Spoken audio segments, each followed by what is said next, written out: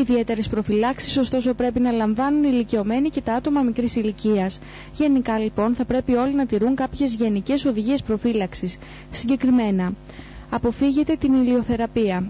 Παραμείνετε σε σκιερά και δροσερά μέρη αποφεύγοντας τους χώρους όπου επικρατεί συνοστισμός. Αποφύγετε τη βαριά σωματική εργασία, ιδιαίτερα μάλιστα σε χώρους με υψηλή θερμοκρασία, άπνοια και μεγάλη υγρασία.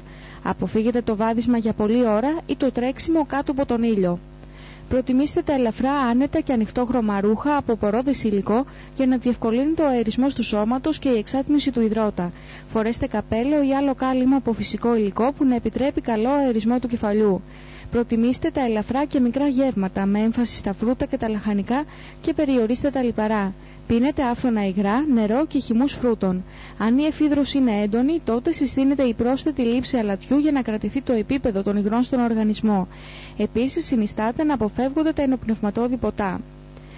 Συνιστώνται πολλά χλιαρά ντους κατά τη διάρκεια της ημέρας. Καλό θα είναι επίσης να τοποθετούνται υγρά καλύματα στο κεφάλι και στο λαιμό σαν προστατευτικά μέτρα. Επίσης, η χρήση μαύρων ή σκουρόχρωμων γυαλιών ενδείκνυται γιατί προστατεύουν τα μάτια από την έντονη αντανάκλαση του ήλιου. Τα άτομα που βάσκουν από χρόνια νοσήματα θα πρέπει να συμβουλευτούν το θεράποντα ιατρό τους για την εφαρμογή ειδικών οδηγιών κατά περίπτωση.